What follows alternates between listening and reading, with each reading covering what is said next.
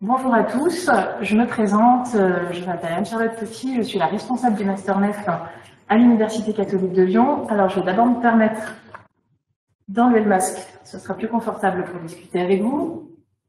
Alors, le Master NEF, ça veut dire métier de l'enseignement, de l'éducation et de la formation, donc c'est le master qui s'adresse aux personnes souhaitant devenir enseignants ou enseignantes. Alors, ce master, il a une double finalité, à la fois former au métier de l'enseignement et préparer le concours de recrutement. Alors, la première chose à savoir sur euh, notre master à UCLI, c'est qu'il est en convention avec l'Université publique Lyon 1. Donc, en s'inscrivant au Master MEF à l'Université catholique de Lyon, vous êtes diplômé d'une université d'État. Le master se déroule sur deux années. Et la grande nouveauté euh, de la rentrée qui arrive, c'est la réforme du concours en 2022, le concours ne se passe plus en fin de Master 1, mais se passe en fin de Master 2. La validation académique est obligatoire pour permettre la titularisation en poste de fonctionnaire, sauf dans quelques cas dérogatoires. Alors, il y a deux concours différents. Alors, ce ne sont pas les seuls, mais on va d'abord insister sur cela. Donc, le CAFEP, qui est le concours pour recruter les enseignants du privé, ou le CAPES, qui est le concours pour recruter les enseignants du public. Alors, il faut savoir qu'on ne peut pas s'inscrire aux deux concours pour voir lequel on va réussir. Les épreuves sont identiques et se déroulent le même jour. Donc, il y a bien un choix à faire en début d'année dans la limite euh, des dates ouvertes euh, pour savoir vers quel type de recrutement vous vous, vous, destinez. Ensuite, il peut arriver que l'on change d'avis. Si l'on est titulaire d'un concours, cela implique la démission euh, du concours dont on est titulaire pour pouvoir passer l'autre concours. Alors, la réforme. Jusqu'à cette année, alors, officiellement, la réforme aurait dû prendre euh, effet dès le mois de septembre et la pandémie a fait que cette réforme a été décalée d'un an. Le concours était placé en fin de Master 1. Ça impliquait que tout le monde rentrait dans les mêmes parcours de M1 et qu'il y avait une bipartition en fin de, M1 selon euh, la réussite au concours. Soit dans un parcours lauréat sous le statut de fonctionnaire stagiaire rémunéré, soit un parcours B sous le statut étudiant. Donc, en plaçant la réforme du concours, euh, en plaçant, en plaçant le concours à la fin du Master 2, tous les étudiants vont intégrer un seul et même parcours en deux ans et le concours sera présenté seulement en fin de semestre 4.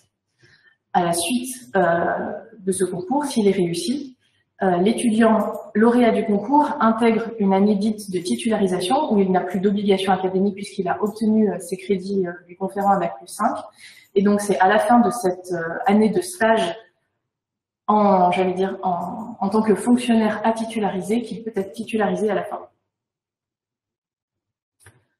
Alors, notre offre de formation. Donc, nous sommes en convention et nous proposons trois mentions euh, parmi celles qui existent pour le Master MEF. Donc, la mention premier, premier degré, qui s'adresse aux futurs enseignants de la maternelle et de l'école primaire, donc dit du premier degré. Et ensuite, le master second degré pour les enseignants de collège et lycée, voie générale technologique ou professionnelle, donc ce sont les mentions les plus connues. Et ensuite, le master PIF, donc qui s'adresse à des enseignants déjà en poste. Donc, ce n'est pas un master qui est corrélé avec euh, l'obtention d'un concours de recrutement, mais que des enseignants, euh, selon la spécialisation qu'ils souhaitent obtenir, puisqu'il y a un certain nombre de, spécialisations euh, en PIF, ce n'est pas une seule et même, une seule et même mention, peuvent intégrer.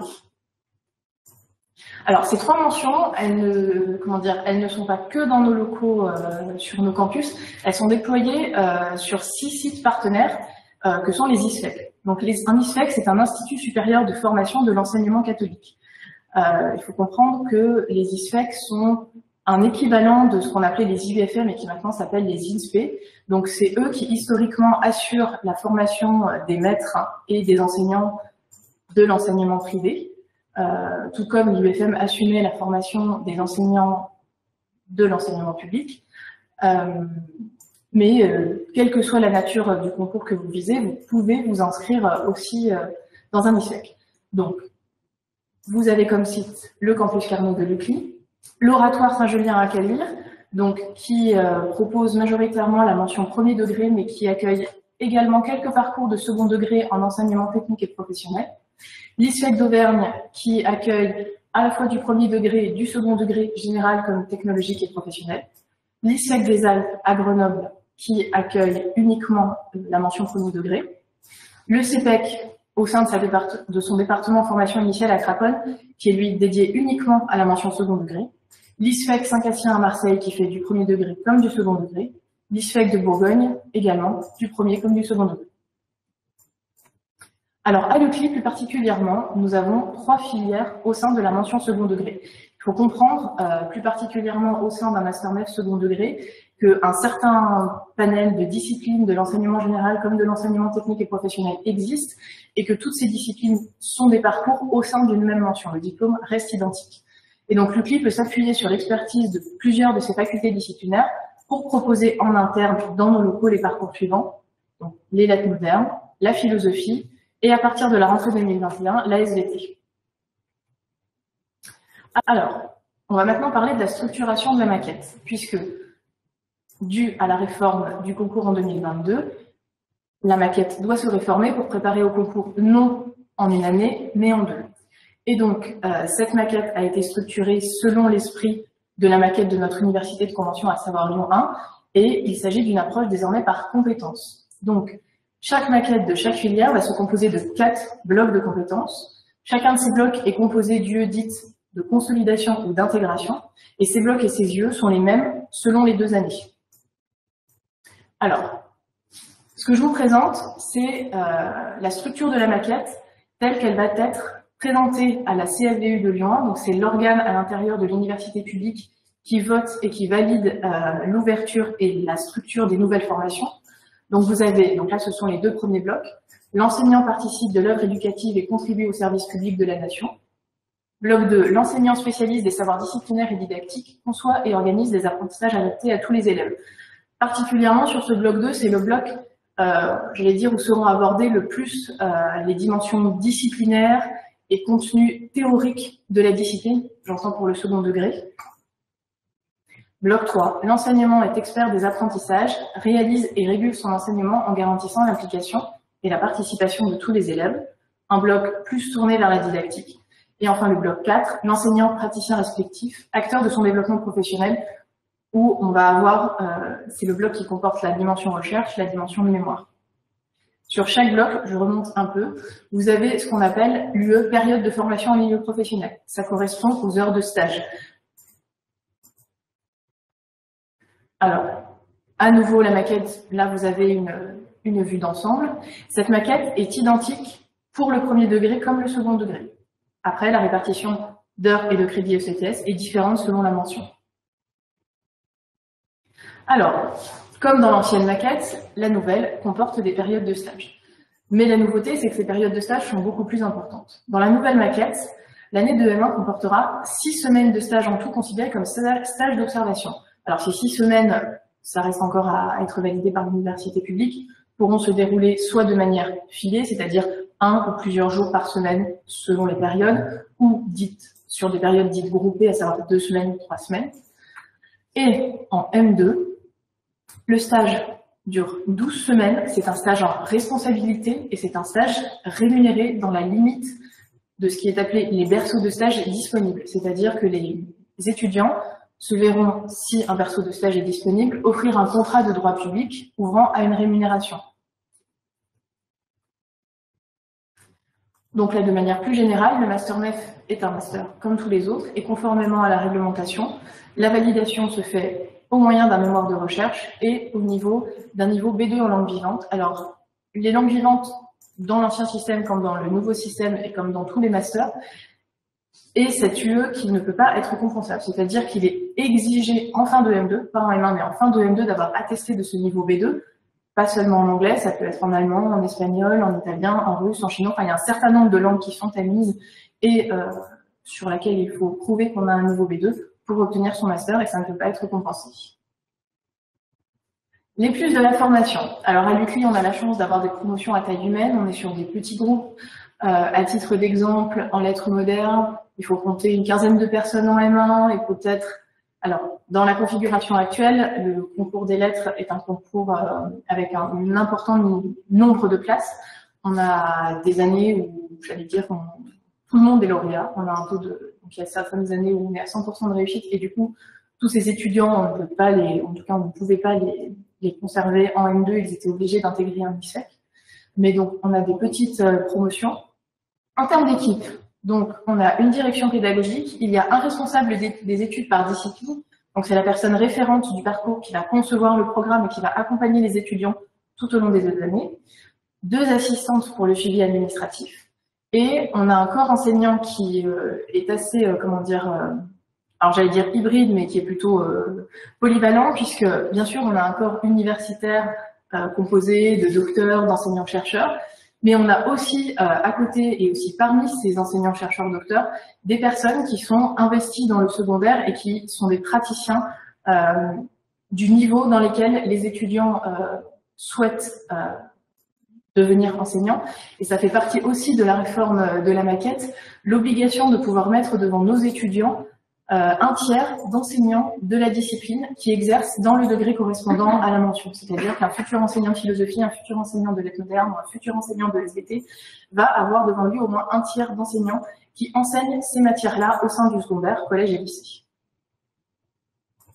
Alors, à titre d'exemple, euh, voilà ce qu'on a proposé euh, au cours de cette année, malgré la pandémie, comme on le faisait euh, chaque année en termes d'entraînement. On organise très régulièrement des devoirs sur table de mise en situation le samedi, dans toutes les matières. On organise un concours blanc sur deux jours pour se mettre en situation concours au début du semestre 2. On propose aussi des journées d'entraînement aux épreuves orales dans des sites extérieurs à l'UCLI. Voilà, ça donne l'occasion de, de, faire une journée aussi interdiscipline. Et on organise des colorales aussi pour, préparer, pour préparer à l'oral. La question de l'admission. Donc là, on entre dans, la, dans, le versant plus réglementaire. Donc pour accéder en première année euh, d'une des mentions du Master MEF, la réglementation est la même que pour tous les autres masters. Il faut avoir soit validé un diplôme grade licence ou être titulaire de 180 crédits ECTS. Une autre solution est possible. On a parfois des personnes en reconversion professionnelle ou voilà, qui ont eu un parcours euh, un peu plus atypique. Quand on n'a pas le niveau de diplôme nécessaire pour postuler à un autre diplôme, on peut passer par une procédure qui s'appelle la VAP, la validation des, acquis de la pratique professionnelle.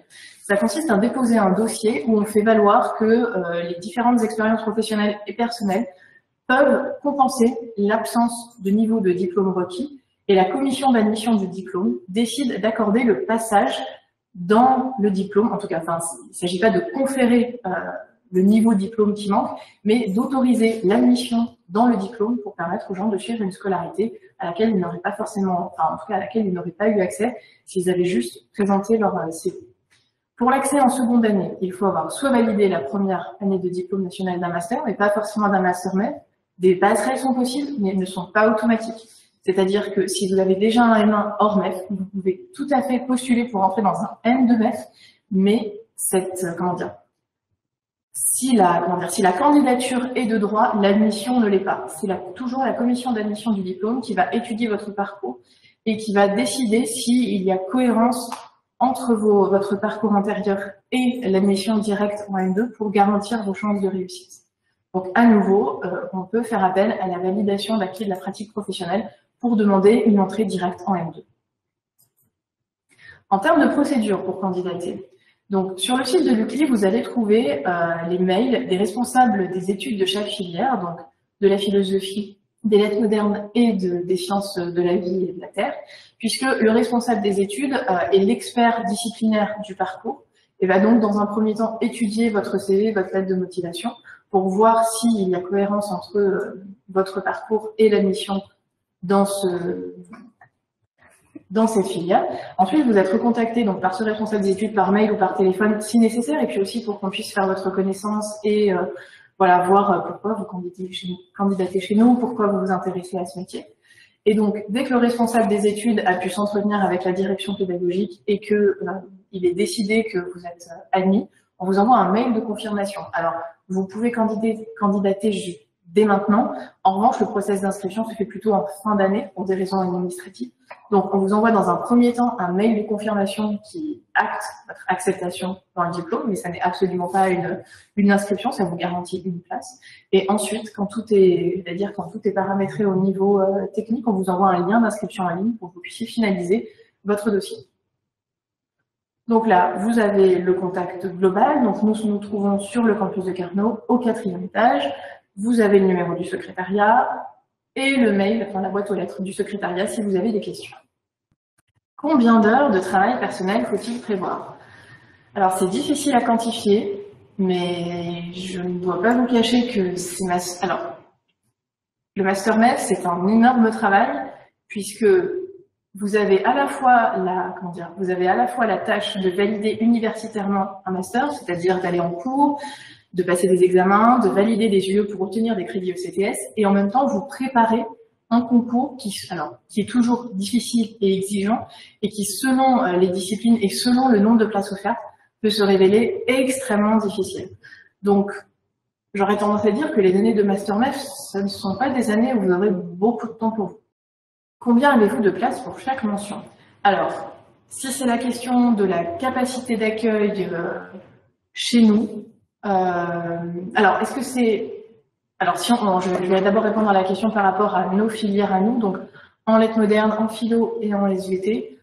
On peut aller, je pense, par année de 20 à 30 personnes. Après, si c'est la question euh, dans les mentions premier degré au sein des ISFEC, je vous inviterai à les contacter directement, mais on peut vous donner leurs coordonnées, puisque chaque site euh, dont vous a parlé mon partenaire a ses propres capacités d'accueil. Avez-vous une idée de l'emploi du temps hebdomadaire et annuel? Alors, l'année de Master 1 compte 500 heures de formation à la matière, c'est la réglementation universitaire hors période de stage, et le M2 compte 300 heures de formation annuelle, toujours hors période de stage. Le Master MEF premier degré est-il dispensé à Place Carnot Non. Sur Lyon, le Master MEF premier degré est dispensé à l'Oratoire Saint-Julien qui est à Calvire, accessible en bus. Euh, j'allais dire, si vous connaissez un peu Lyon, euh, vous voyez le bâtiment euh, depuis les berges du Rhône quand vous êtes à la Cité internationale. Quelle alternative si nous ne sommes pas lauréats du concours? Alors ça, c'est vraiment la question qui fâche, parce que le Master MEF, c'est vrai que c'est un master, c'est un diplôme universitaire comme un autre qui fonctionne un bac plus 5, qui vous permet, en tout cas qui, qui comme tous les autres niveaux bac plus 5, vous permet de poursuivre en troisième cycle. Alors, à nouveau, les passages du Master MEF au troisième cycle de recherche ne sont pas immédiats, mais il est vrai que quand on n'est pas lauréat du concours, euh, il peut être difficile, ou en tout cas, il va falloir faire preuve, euh, on va dire, de persévérance pour euh, arriver à, j'allais dire, si, on veut vraiment changer de voie professionnelle, puisque un certain nombre de on va dire, de titulaires du master qui ne sont pas lauréats du concours vont choisir la voie contractuelle pour enseigner auprès du rectorat. Et donc, au bout d'un certain nombre d'années, vont pouvoir accéder au concours interne, qui n'a pas les mêmes logiques que le concours externe. Mais ça vous permet de chercher du travail dans le milieu d'éducation, dans la formation professionnelle. Alors, je voilà, je peux pas m'engager sur la facilité à s'insérer, mais c'est vrai que ce master est vraiment conçu euh, pour euh, préparer le concours. Comment trouve-t-on les stages du master Alors, là aussi, je vais pouvoir euh, vous parler uniquement de des mentions qu'on a ici en interne. les stages ne sont pas à être cherchés par les étudiants, mais selon, alors, je, vous avoue que la, maquette, j'allais dire, est toujours en cours d'approbation et la réforme euh, perturbe un certain nombre de process tant à Ducli que chez notre partenaire euh, de convention qui est Lyon 1. Donc, je ne peux pas m'arrêter sur, euh, enfin, dire, je ne peux pas m'engager sur les procédures qui seront définitivement arrêtées. En tout cas, à ce jour, selon le choix de concours que vous faites, le concours privé ou public, et ça c'est ce qu'on demandait en M1, et ce qui se demandera sans doute plus en M2, mais je pense que la question se posera aussi en M1, même si vous aurez l'occasion de changer entre les deux premières années, entre les deux années de master. Le placement en stage est assuré par les services, euh, le service de gestion des stages de Lyon 1 quand vous avez choisi le concours du public. Donc, en partenariat avec le rectorat, il s'occupe de trouver des établissements et de vous affecter en stage. Et quand vous choisissez le concours privé, c'est l'organisme du SAR, le service service d'aide au recrutement de l'enseignement privé catholique, qui fait le placement dans les établissements privés. Est-il possible de réaliser un stage à l'étranger en M1 et en M2 Alors, c'est une bonne question, mais je, alors, il a été évoqué, normalement, on est censé être en stage dans son académie, ou en tout cas dans l'académie du, du concours qu'on va passer, euh, pour euh, comment dire euh, être en pratique et en responsabilité sur des classes sur lesquelles on, serait amené à, à, travailler une fois qu'on est lauréat du concours. Et le calendrier, je pense tel qu'il va être pensé, ne permettra pas en termes de, temps, de penser une période de, stage à l'étranger. Ça a été évoqué à un moment pour certaines personnes en M2, mais je ne pourrais rien, euh, je ne pourrais pas m'engager là-dessus. Peut-on réaliser ces stages dans des écoles privées? Oui. Oui, si vous choisissez le concours du privé, vous serez affecté dans, dans un stage en école privée. Y a-t-il la possibilité de présenter une option latin au concours? Alors là, je pense que c'est, je reconnais le nom, je pense que c'est une question euh, plus propre au concours des lettres modernes. Euh, les, comment dire, les nouvelles épreuves du concours viennent juste d'être publiées et donc jusqu'à présent, il y a euh, la possibilité de prendre l'option latin pour l'oral. Et je je pense qu'il faudrait mieux que vous vérifiez ce point-là, donc avec notre responsable des études Audol Pillac, pour savoir si il y aura, enfin, en tout cas, si l'épreuve de latin est conservée à l'oral dans le format euh, qu'elle a aujourd'hui. Sommes-nous redevables d'un nombre d'années de service à l'État après le concours À ma connaissance, non. Vous n'êtes pas comme les étudiants, de l'ENS. Enfin, en tout cas, je, n'ai rien vu passer en termes législatifs qui disent que, j'allais dire qu'au titre de la rémunération que vous percevriez en M2, vous seriez euh, redevable d'années euh, de service à l'État. En revanche, si euh, vous ne souhaitez plus être enseignant, il vous faudra démissionner. Pour candidater au Master 1 premier degré de l'ISFEC de l'oratoire, faut-il candidater sur le site de l'UCLI ou sur le site de l'ISFEC de l'oratoire? Alors, il faut candidater directement auprès de l'ISFEC de l'oratoire, donc, euh, les candidatures seront ouvertes à partir du 1er avril, mais dans le même, enfin, je respecte 4 jours. Mais si, entre-temps, vous avez des questions, vous pouvez tout à fait appeler l'accueil et demander Claire Fort, qui est l'assistante administrative euh, du Master MEF et qui se fera un plaisir de répondre à vos questions. Quelle est la proportion de cours disciplinaires et de cours méthodologiques sur la fonction d'enseignant? Alors, si on fait une, on va dire, si on regarde une, si on fait une lecture euh, très, on va dire, très stricte et très carrée de la nouvelle maquette, on peut dire que sur les deux ans, il y a à peu près 300 heures euh, réparties sur les deux ans, le bloc 2 consacré aux disciplinaires pures et 500 heures consacrées à la méthodologie ou aux heures dites transversales. Mais c'est une lecture un peu stricte et euh, quand on entre, j'allais dire, dans l'interprétation des UE, on voit que notamment au sein du bloc 3, on peut introduire du disciplinaire sous l'angle de la didactique Qu'en est-il des mutations après le concours? Alors ça, c'est une question technique. Ça dépendrait de est-ce que vous êtes dans le privé, est-ce que vous êtes dans le public? Est-ce que la question, c'est euh, je suis dans telle région et je voudrais aller travailler dans une autre région? Jusqu'à présent, la consigne, euh, parce qu'on avait ce cas-là, on a des étudiants à l'UCLI qui viennent de tous les coins de la France. La consigne, c'était il faut passer le concours dans l'académie où on souhaite enseigner. C'est beaucoup plus simple que de demander une mutation. Que ce soit pour vos licences ou pour vos masters, un CV est demandé en plus d'une lettre de motivation. Alors, on veut un CV pour voir quel est votre parcours universitaire et personnel et, je vais dire, la lettre de motivation peut être tout à fait dans le corps euh, du mail d'emploi. Approximativement, à quelle date avons-nous les réponses d'admission au Master 9 premier degré à l'oratoire? Alors, ils ouvrent leur candidature à partir du 1er avril jusqu'à mi-juin mais je ne sais pas sous quel délai ils donnent les réponses. Tout dépendra aussi, euh, de, de l'organisation possible en fonction de la pandémie. Y a-t-il une bonne ambiance de promotion? Alors, si la question c'est pour euh, les filières euh, en interne, oui, on est des petites promotions. Moi, je me réjouis que l'année prochaine, on ait une filière scientifique qui s'ajoute à deux filières dites plutôt littéraires. Ça permettra un nouveau mix de cultures. Et oui, il y a une bonne ambiance. Comment les dossiers sont-ils étudiés? Alors, à nouveau, je vais pouvoir répondre pour euh, ce qui est des lettres modernes, de la philosophie et des SVT. Ce sont les responsables des études qui vont euh, étudier les CV et qui vont en faire part à la direction pédagogique. Et voilà, s'il y a besoin euh, d'arbitrage, c'est une décision qui se prend collégialement entre les responsables des études et la direction pédagogique.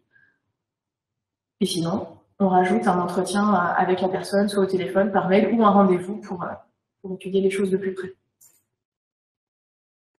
Quel encadrement pédagogique proposez-vous? Alors, je ne sais pas si ça va répondre à la question, mais vous avez un responsable des études qui est dédié à la promotion, donc une personne qui fait le suivi euh, exclusif, euh, allez, je veux dire d'une quinzaine ou d'une vingtaine de personnes grand maximum et qui vous accompagne tout au long de l'année. On a une équipe euh, dédié tant du point de vue des enseignants que du point de vue administratif et on vous propose un certain nombre d'exercices pour vous préparer au concours. Quel est le tarif des frais universitaires pour une année à un Master MEF premier degré?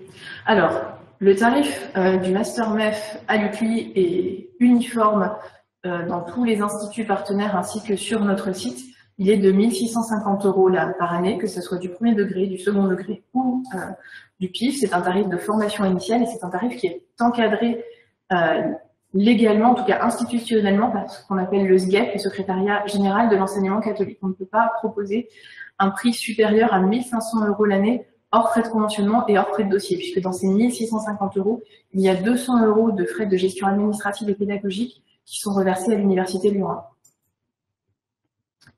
Si j'habite dans l'Isère, mais que je suis à l'UCLI, je vais avoir des offres dans l'Académie de Lyon ou de Grenoble. Au niveau des stages, alors ça, ce sera à vous de le dire. C'est-à-dire que euh, le, SAR, qui travaille avec nous comme euh, le service du rectorat via le service des stages de Lyon 1, vont vous placer dans l'académie euh, du Rhône, à savoir, enfin, l'académie de Lyon, donc 1, Rhône et Loire. Mais chaque année, j'ai des étudiants qui viennent de plus loin et qui voudraient faire un stage dans leur département d'origine. Dans ces cas-là, on peut transférer le dossier, surtout pour le versant privé, euh, au SAR d'une autre académie qui peut vous trouver un stage.